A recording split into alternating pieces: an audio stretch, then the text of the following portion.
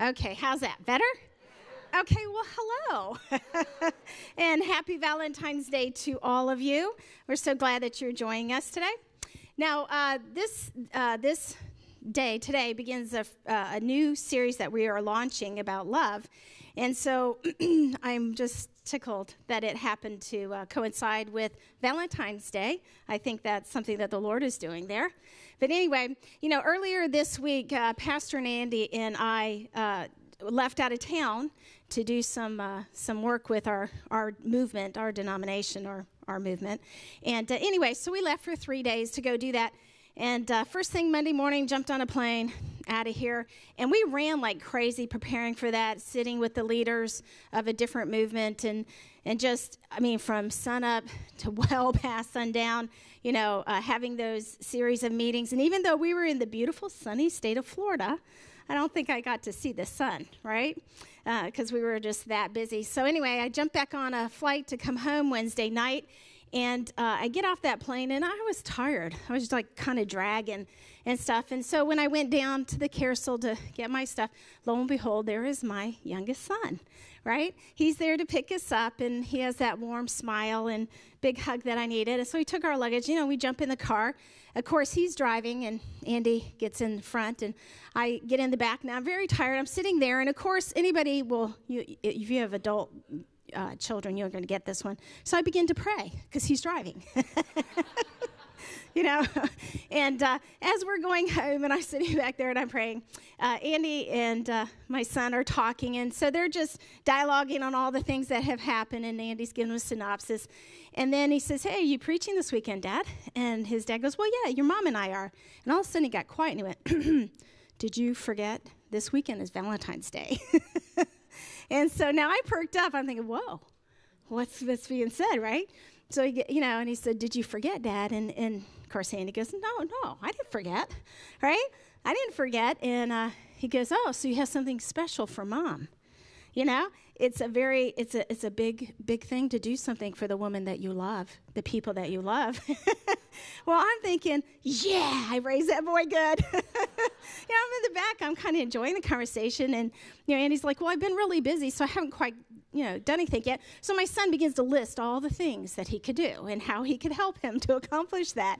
Now, guys, I'm sitting in the back. I have this 19 year old son who's talking to his father like that. I couldn't receive a better Valentine's gift than that, right? I just think this is wonderful. This is wonderful. In the discussion, I felt so valued. I felt recognized. And, you know, I felt like I was the most important woman in the whole world right?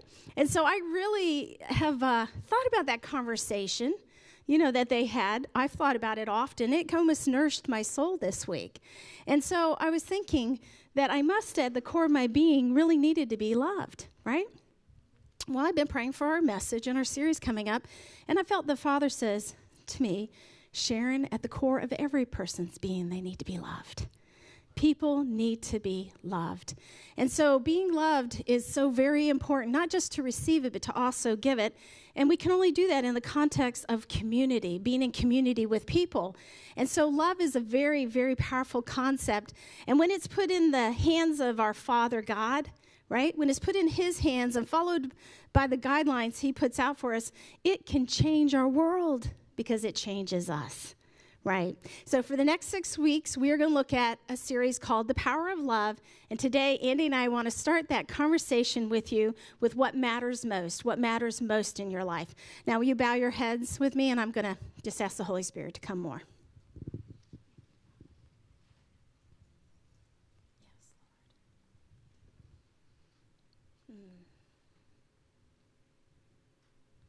Father, I pause for you. And I make room for you, Holy Spirit, that you may come into every corner of this auditorium, Lord God.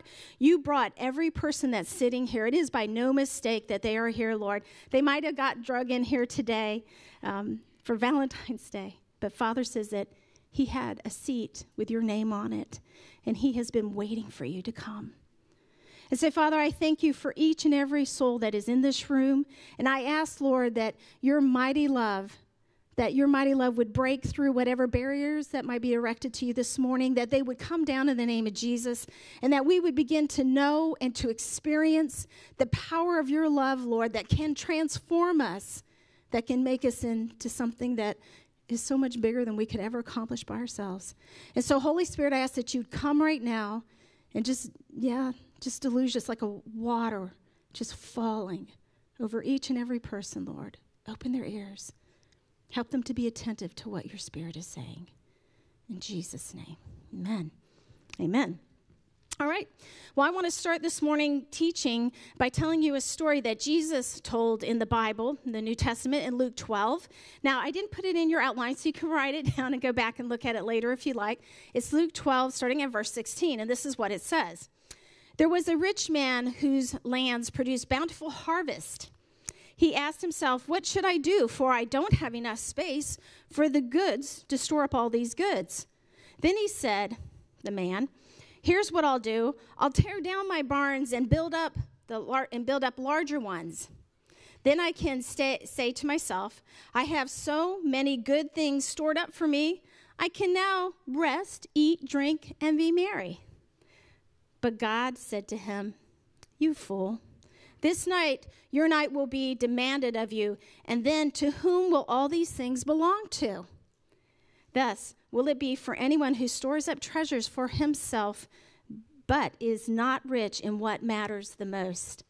Is not rich in what matters the most. Now, I tell you that story because I believe that the world is always trying to get us to look uh, at the outside that it'll bring us happiness. That's what matters, you know, that possessions, prestige, power, these are the things that matter. And so most of us, if we're not careful, can run our whole lives trying to go after those, but that's not what it, it, it's not what God cares about. That's not what matters to Him.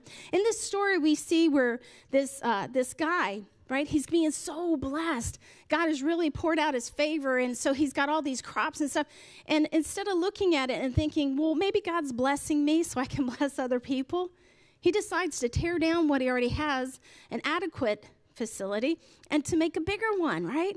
He's getting more uh, mini storage so he can put more of his his blessings in there. Yet, it didn't go through his mind that perhaps God wanted him to give to the less fortunate. You know, he was too busy about his retirement. He's too busy about his 401k, right?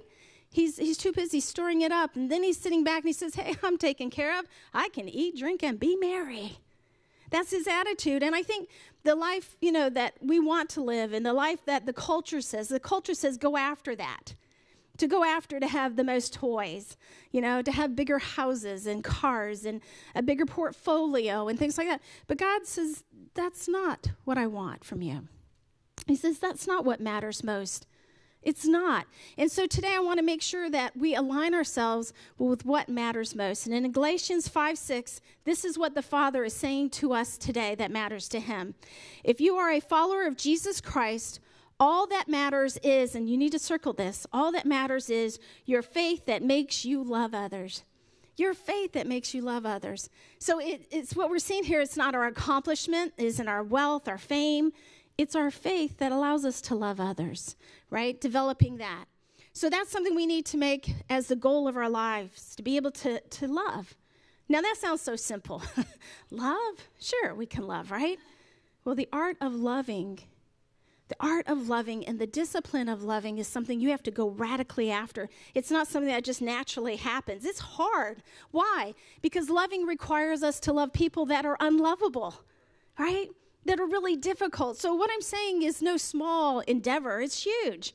And because I know it is, I've asked my small groups if they would align themselves with us over the next six weeks so that they can run alongside of the concepts that we deliver to here in this auditorium, that you could take them into those groups, into that faith community, that you can begin to talk about not just the concept of something like forgiveness, but how do I do that with the people I'm living with or the people I'm working with or going to school with, that you can take it and you can apply it in your life. You see, the application of that is going to require you to have some kind of a community around you to rally around you. Listen, I don't think any transformation in one's life happens outside of community. I think it's the people around us that rally us on, that talk to us on a daily basis, that help us to be able to mature in this love. You can't love in a vacuum. So I'm going to encourage you to be part of a small group, right? To be part of that community of faith. And if there's not one in existence that you like, then you grab two or three of your friends and I will give you the curriculum to do it yourself. You don't have to have a PhD to do this. It's simply understanding what's being given to you and then saying, how does that impact, you know, impact my life? What can I do with that? So, I, my prayer for you is that you would get into community, that you can be transformed in this information I'm giving to you. Now, all of our uh, all of our studies that we're going to do over the six weeks is taken from the love chapter. Now, if you know anything about the Bible, I'm talking about 1 Corinthians 13, am I not? We hear that often referred to in weddings and stuff like that. Well, that's our love chapter, and I want to pull that in and I want to talk to you about that uh, over the next six weeks, uh, myself and the teaching team of pastors. Now, here we go. Here's what I'm going to tackle in the next couple of minutes here is to show you something that I found in 1 Corinthians where uh, 13 verses 1 2 and 3 there's this this image that i see being portrayed in there. It's almost like waves. You know when they hit our shore in virginia beach right? Shh, and then they go back out and shh, they come back in. And there's like this rhythm that goes on. Well i see that happening in 1 corinthians 13 verse 1 it starts there. And so i have these five waves that hit our shore and they're repetitive because they want you to get the idea of what matters most. And so it's very repetitive so that we get it that we get it. So let's go and look at that real quick. These five statements that are built out of 1 Corinthians verses uh, 13 verses 1, 2 and 3. The first one, if I don't live a life of love, right? Nothing I say will matter. That's what goes in the blank. Nothing I say will matter. Here we go. Verse 1 says, If I could speak in any language in heaven and on earth, but I don't love others, I would only be making meaningless noise like a loud gong or a clanging cymbal. So basically, words without love is nothingness, it's empty. That's right, it's empty. Now, you and I, we go and we listen to great speakers, and they kind of tickle our ears. They might touch our emotions, and we might go, Oh, man, that's fantastic. What a good orator. What a good speaker. You know, and they motivate us and stuff. But God is not so much interested in how eloquently somebody might speak. Rather, He's interested in the heart of that person speaking. Do they love? Because he knows the principle that nothing I say matters if I do not have love. So that's the first thing we see in this, uh, this scripture. The second one is now here comes the next wave. If I don't live a life of love, look at this nothing I know, nothing I know will matter. And in verse 2, we see, I may have the gift of prophecy, I may understand all the secret things of God, I may have all knowledge, but if I do not have love, then I'm nothing then I'm nothing. So it's basically saying it doesn't matter how smart you are. It doesn't matter if you, you know, have a PhD. It doesn't matter, you know, if you're like a brainiac, right? You got all the information on science and history and literature, right? And math.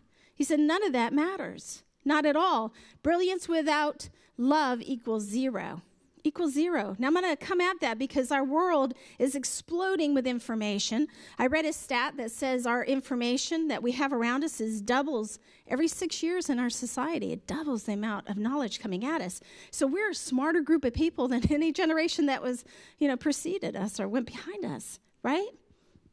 And that went behind us. So what I want you to see though is though even though we are smarter, when I look at the world, I see the same problems. You know, I see those same old problems of terrorism and war and crime and abuse, of prejudice, of hatred, of violence. I see all that. Why? Because the world doesn't need more knowledge, it needs more love. It needs more love. So, without love, nothing you say matters, and without love, nothing you know really matters. The next wave, shoo, that's coming ashore here in our lives is if I don't live a life with love, nothing I believe will matter. Nothing I believe will matter. Now, there's a myth in Christendom that says it's all about just what you what you say you believe in. You know, it's just what I believe. That's all that matters. And really, that's not true. Nothing can be further from the truth at all. It's not just about what you believe intellectually or have the right doctrine. That's not what it's about. It's about loving God with all your heart. It's about being passionate for Him. That's what, that's what it's about to be a believer. Now, the Bible says, even if I have the gift of faith, so I could speak to a mountain and make it move, in other words, I can move in the miraculous, right? I would still be worth nothing at all without love. You see, it takes more than just believing in God. And I know you're going, wait a minute, wait a minute, Sharon wait a minute, I, I say I believe in Jesus. Isn't that enough? No, because even the devil will say that. Even the devil believes in God and believes that Jesus Christ is the Son of God, but you won't see them in heaven. You won't see them there because it takes more than just believing, it takes loving Him. It takes giving your whole heart to Him. Now, the Bible says this if I say I love God and hate other people, I'm a liar. What? Yeah. The Bible says if I love God and I hate other people, then I'm a liar. And so there's this connection here, relational connection that I want you to see. And then the Bible also says, I can't say that I'm right with God and be out of sorts with other people. Relationships with others affect my relationship with God. If I don't live a life of love, nothing I believe will matter. Nothing. Those are so profound. You could sit and think about those forever. It really talks about the shore slapping upon our hearts about the importance of love. It's more than what I say, it's more than what I believe, it's more than what I know. I must have love permeate everything. It is the foundation of everything. Now, here you go. Here's another wave coming at us. If I don't live a life of love, nothing I give will matter. Nothing I give will matter. It says here in the scriptures if I gave everything I have to the poor and even sacrificed my body, but I didn't love others, I would be, it would be of no value whatsoever. So even though you might be a big giver of different things or sacrifice yourself, give your time, energy, money, if you don't do it out of love, then it doesn't count. It doesn't count in God's kingdom. Now, I would hope you would know that you can give, you know, you can give with the wrong kind of motives, right? We can give because if I give to you, I know you're going to give it back to me. That's called selfishness. And a lot of us have to work ourselves out of that, don't we? I'm going to be kind to you because I know you're going to be kind to me. I'm going to give you this because you're going to give it back. One of my favorite things on this to point this out is if you watch The Big Bang. No? Yeah, it's one of my favorites. Well, Sheldon. I hate when people give me because I got a last penny, got to give back to them, right? It's this idea of I give to you because I know you're going to give back to me. And so we need to really be careful with that and not let that overtake us. Also, I have found that other reasons people will give is not just I'm going to get back, but they want to um, pay for something in the past. You know, if I give enough and I give and I give and I give, then I can somehow atone for some mistakes that I've made in the past. And that doesn't help because only Jesus Christ can forgive. Giving to other people out of that is the wrong motive, and so just don't do it. We give in love, that's what counts. And then the last wave I want to show you that's happening in this 1 Corinthians 13 chapter is it says here, if I don't live a life of love, then listen, nothing I accomplish will matter. Nothing I accomplish will matter. Now, I like the way the message paraphrases this. It says, No matter what I say or what I believe or what I do, I am bankrupt without love. I am bankrupt. I'm nothing without love. So it doesn't matter, you know, what kind of, what kind of things you rack up about your personal accomplishments. You know, I am this, I've accomplished that. You know, even if you got your face in, in uh, the Virginia Pilot or the Fortune 500 companies or whatever. It doesn't matter if you're the greatest entrepreneur that ever walked the face of the earth, right? And you earn lots of money. It doesn't matter. All that the Bible says is worth squat, nothing unless you have love. And so, what you want me to hear, hear me say, and what you hear the Holy Spirit saying is that what matters most to God is the relationships that we have. It's the relationships, not the accomplishments, that matter. And in summarizing those ways when they come over, let me tell you, you and I, one day, 100% with guarantee, we're going to die. And we're going to stand before the Lord, and He's going to ask us, What do we do with the one and only life that He has given us? How did we live it? And I can guarantee you that He's not going to evaluate us on our bank accounts, how many houses we owned, what kind of car we drove, you know, what kind of grades we made in school, what kind of trophies do we have, you know, from any kind of a sporting event or what. He's not going to ask us those things. Instead, what He's going to do is He's going to look at us and He's going to say to us, What did you do with the relationships that I gave you? What did you do with those? You see, the Father wants you to know the most important thing that matters to him is that you learn to love him with all your heart, with all your mind, with all your soul, and with every breath that you have to breathe. You learn to love him, and then you love your neighbor as yourself. So, this is a great commandment. What is that neighbor part? I get the God part, but what's the neighbor part? The neighbor part is the person sitting right next to you. It's your spouse. It's your kids. It's your coworkers. God indeed has placed you right where you're at so that you can make a difference in their lives. And the primary thing that He's looking for you and I to do is to be able to, to understand the importance of love. The Bible says it very clearly that love is the primary objective of our life. Love is the primary objective of our life, and it should be the supreme value that we have, should be our greatest power. And so we want to spend next six weeks really uh, salting that and, and allowing it to, you know, to go down deep. And as I showed you, even the opening of our 1 Corinthians 13, it's like this wave that keeps hitting your heart because it wants to soften your heart. It wants to soften it so that you will always remember what's the most important thing that the Father wants from us. And He wants you to love. All right, I'm going to pass that to Andy, who's going to tell us about what love is.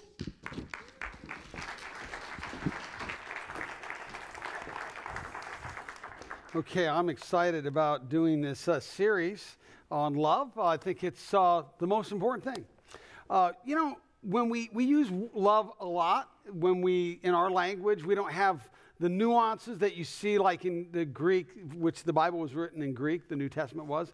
And so we'll often just say the words like, uh, uh, you know, I love my country, I love God, I love my spouse or my kids, I love pizza, I love spicy foods, I love my dog. And we just kind of throw it all in there. And um, even though there's different, different uh, valuations with that.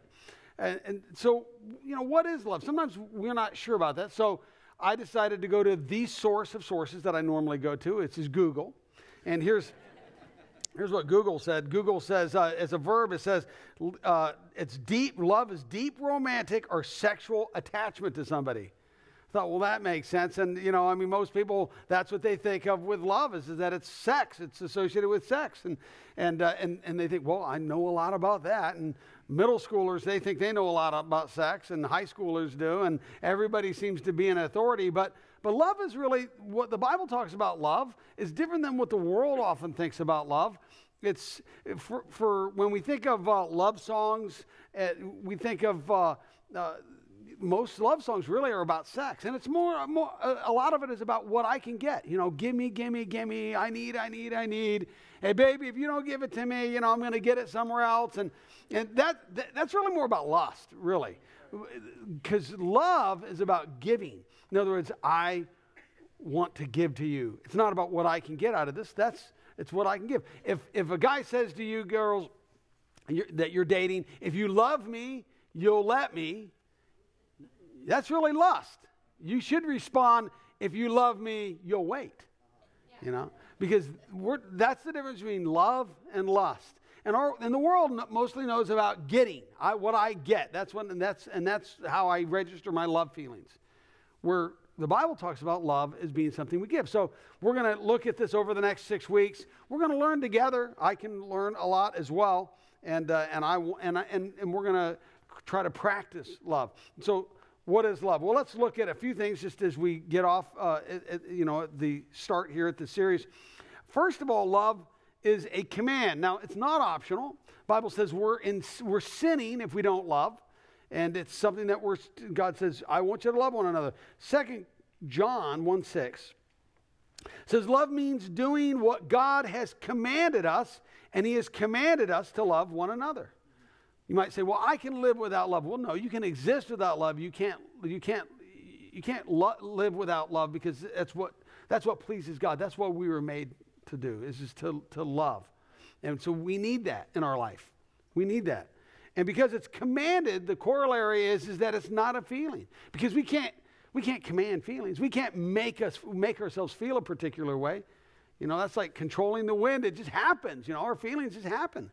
Have you ever tried to uh, work with a like a toddler who's all upset? They're not feeling good. They're upset. They something didn't go their way. They're crying. They're screaming. And then you go, you go. I command you to be happy. it doesn't happen, right? You just can't do that. And you can't do that to other people too. I mean, who are who are not toddlers, you know, they're like toddlers in big form, you know. I command you to be. No, because we feelings just they happen. God commands us to love because it's something we can control. Something that's not a feeling. It might cause feelings, but love in and of itself is more than a feeling. And so it's something we're to do. Number two is, is love is a choice. We can choose to love, we can choose not to love. 1 Corinthians 14 1 in the message paraphrase says, Go after a life of love as if your life depended on it, because it does. So circle that those words, go after. It's a volitional act. You decide to do it, which destroys another myth about love that love is uncontrollable. You know, this idea that I just fell into love. It's like you're walking along and you fall into a ditch. You know, I just, I can't get out. And this idea of love is uncontrollable. I just can't control it. You know, today is Valentine's Day. And uh, the symbol, one of the symbols of Valentine's Day is Cupid. You know, Cupid goes all the way back centuries and centuries to classic G- Greek mythology. Cupid was, uh, according to the, the, the, mythology, is the son. Uh, he's a god, but he was birthed out of, uh, of Venus, who is the goddess of love and, uh, and erotic love, and, uh, and Mars, who's the god of war. I guess when war and love come together, you get Cupid. I don't know how that works, but. And, and he used to be depicted as a slender youth with wings. And then somewhere along the line, his, he, he, got, he got himself hold of this bow and arrow, you know, that kind of symbolizes his, his, his superpower, I guess, is what we'd call it today. And then over the centuries, he, he just he transformed into a chubby baby. I'm not sure how that happened. if you find out, let me know. I was I couldn't find it. Just, but he's a chubby baby now. So and if you get hit by one of these arrows of Cupid, you're smitten with, with love. You can't help it, right? It's just like it happens uncontrollably. Now, that is a myth. Because real love, we can control it. You, we can choose to love somebody. I hear it quite a bit. People that say, "Well, I'm done with my marriage. You know, I'm, it's it's over. You know, I mean, the separate. We're getting separated. We're getting divorced because I don't love her anymore. I don't love him anymore." Well, let's be honest, you're choosing to not love them. Because you can love somebody even if they don't love you back. You can love, because love is not dependent on somebody else's behavior. That's why God loves us. He's not dependent on how we feel, on what we do, how we respond. God loves us regardless of how we treat Him, how we treat others. He, he loves us. That's His grace. And that's, that's what love is. And so we choose to love or we choose not to love. But it is our choice. Number three, love is a conduct. It's a way of acting, an action. It's something we do. 1 John 3:18 says, "Let us stop just saying we love people." You hear that plenty. That was 2,000 years ago. You still, oh, I love you, I love you. Let us really love them and show that by our actions. So there's a difference between saying you love somebody that sentimentality that you get in a Hallmark card or an American greetings card and then actually doing it. Saying, I'm going to love you. And it goes beyond just what I say. I mean, it's a real action. Reminds me of the three pastors. They were, they were really close friends. They decided to go out fishing together, and uh, they're off on their boat pretty far away from shore. And in a moment of vulnerability, one of them just says, You know what? Why don't we just share with some of the things we're currently struggling with? You know, just, you know, nobody else needs to know, but just Let's be vulnerable. So, what, so he goes, I'll start. I, he goes, I struggle with, with lying. I, I, I don't always tell the truth. I've struggled with that for a while. I make up things. I feel bad about it, but I still I struggle with lying. And so the next pastor goes, okay, well, I'll, share. He goes, tell you the truth, I struggle with lust. You know, I've had a problem in, for that with that for a while, and I struggle with lust, and I lust, and it's kind of embarrassing, but it's something I'm still working through. And so the last pastor goes, "Oh, you don't want to have, you don't want to hear what I have to, I struggle with." They go, "Yeah, yeah. I mean, this is, you know, we're talking honestly with one another. What are you struggling with?" He goes, "Ah, you don't want to know." He goes, "Yes, yes." They go, "We do." He goes, "Well, I struggle with gossip, and I can't wait to get off this boat." now that's not a loving thing to do, right? You can choose, and we we make excuses why we do what we do, why we act the way we act. But we can control it. We can control how we act to other people. Right? If you, might say, yeah, but the person I'm, I live with is they're so hard to get along with. You know, they're they're they're mean. One guy was asked, he goes, Do you wake up grumpy in the morning? He goes, I usually let her sleep in.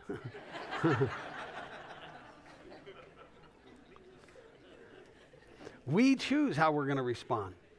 You know, we get to, am I today, am I going to be a loving person or am I going to not be? And we get, we, get to cho- we get to choose that. Number four is, is love is a commitment. It's a commitment. First John 4:16 says, God is love. If we keep on loving others, we will stay one in our hearts with God, and He will stay one with us. So he's talking about here that it's there's a relationship that's involved, not just with God, but with other people. And if we stay, if we love other people, then we're one in one with God. And notice he says, keep on loving. In other words, it's durable. It keeps on keeping on. It's like the Energizer Bunny.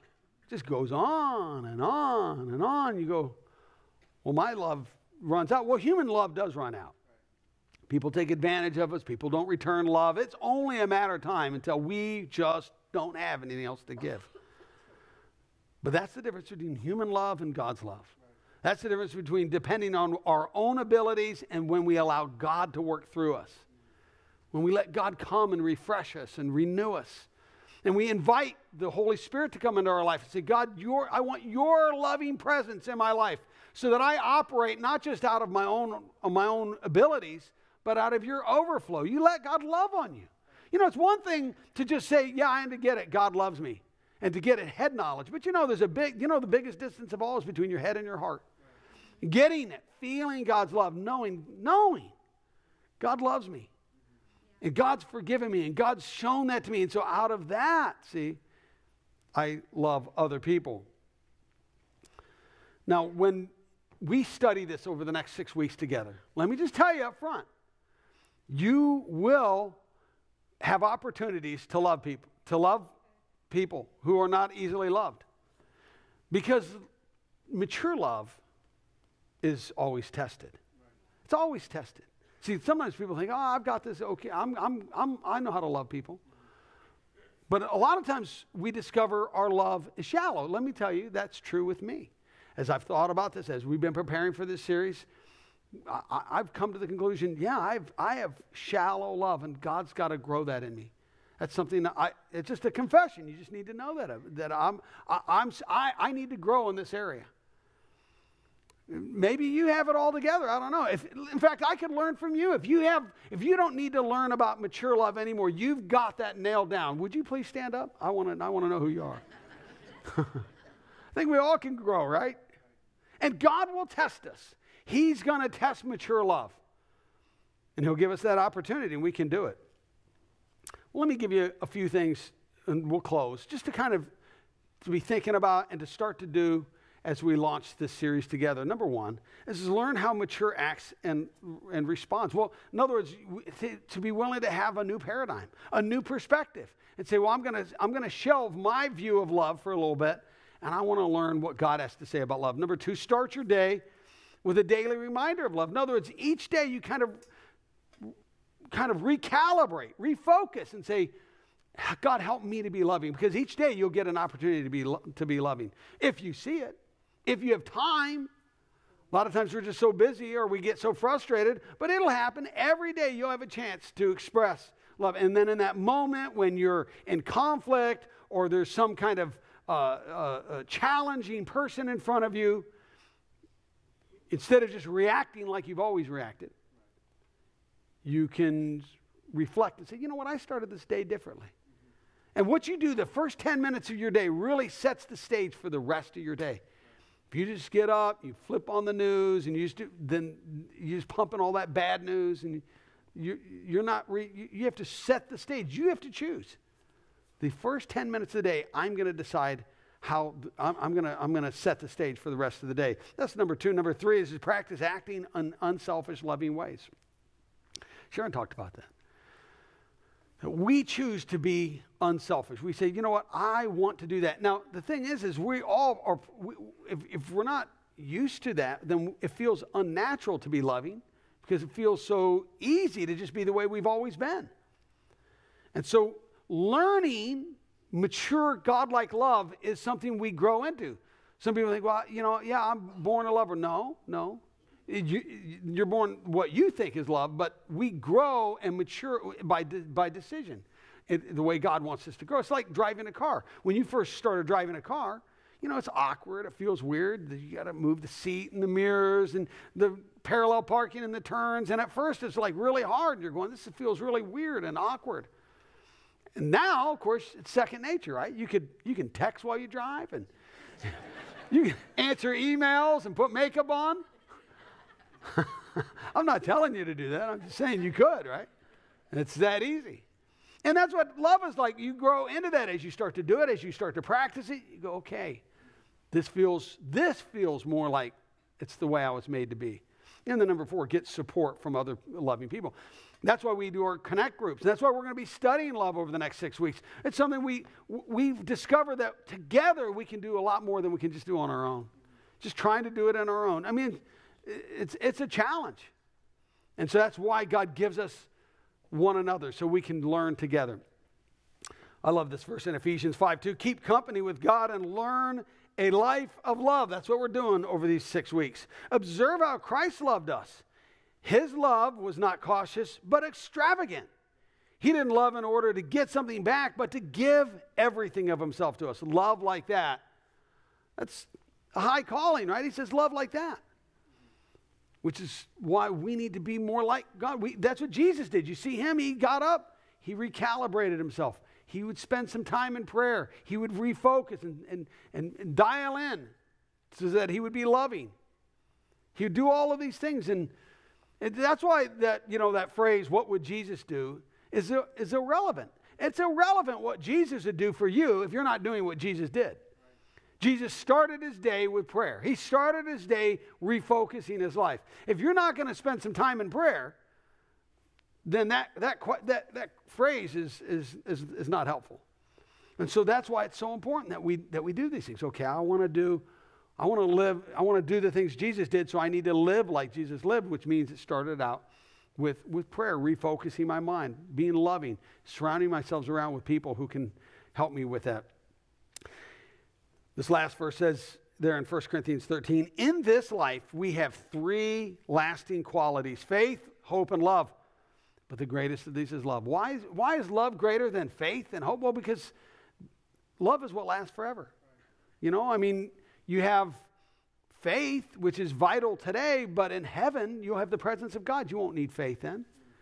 Hope is so important today, but all your needs will be met in heaven, so you won't need hope then. But Love is something you'll have forever because God is love. And even in the presence of God, we'll be surrounded with love. That's why love is so, so vital. It is what matters most. So let's stand and we'll close in prayer. Our prayer teams can come forward and we'd love to be able to pray for you. Some of you need a touch from the Holy Spirit. You need a touch from God because the truth is, human love wears out. You need God to come alongside you and help you. So let's pray. Father, I am excited about what you're going to do over these next six weeks to develop us, to mature us, to take us out of shallow love into a more deeper understanding of love. Help us, Lord, to work that like we would work muscles. Teach us, Lord, to be loving in our relationships, in the people we work with, in our careers, with our families, our friends. Right now, Lord, I know that there's some people who desperately need you. They need you. Some of you are here, you're upset. You're, you've been hurt. And you're having a hard time dialing into love. Those loving feelings aren't there. And that's why we're not really talking about loving feelings today. The feelings may come. I maybe I hope they do, I guess. But what is really important is that you act loving. You do that because you it's a choice you make. It's a commandment you fulfill. God says, I want you to be loving.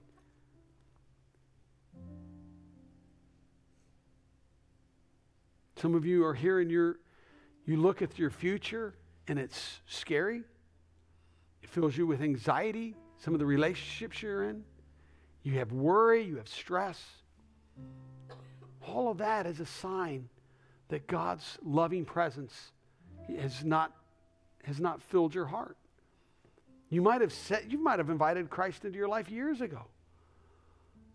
But when you are filled with anxiety and worry and fear, the Bible says in God's love, there's no fear. That anxiousness, that worrisomeness, that, that, that is an indicator light on the dashboard of your life saying, it's time to let God in. It's time to invite His presence in right now. Do that. Just say, Jesus Christ, come, Lord. Calm my fears, calm my anxieties, my worries. You say there's no fear in love. Teach me what that means.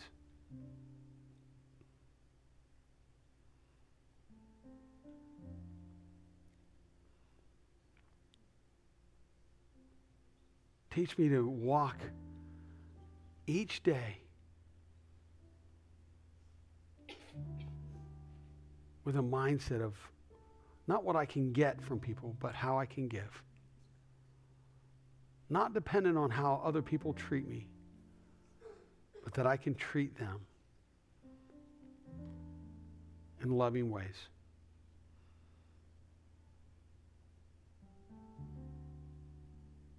Would you say, God, help me to learn how to act and respond in a way that reflects who you are making me to be?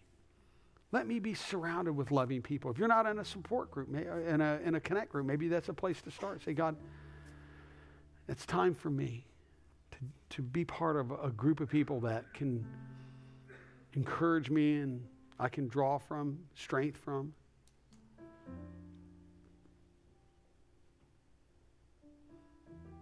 You've never put your faith in Christ, why not do that? Say, Jesus Christ, I trust you.